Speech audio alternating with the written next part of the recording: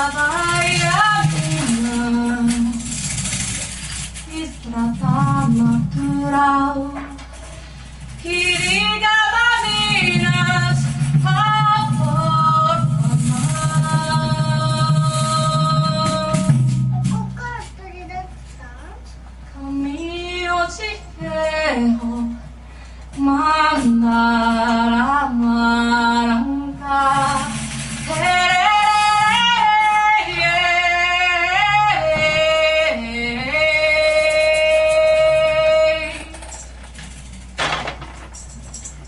Gerando